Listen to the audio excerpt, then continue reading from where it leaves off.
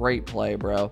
Hey guys, a big thing when you guys are playing, notice this about Vatira. Watch this. He knows first is low, so he hits it high, right? This allows him to also recover to the wall and beat Sypical jumping off the back wall. It's little things like that, guys, that remember keeping the ball close is why Vatira is one of the best players in the world.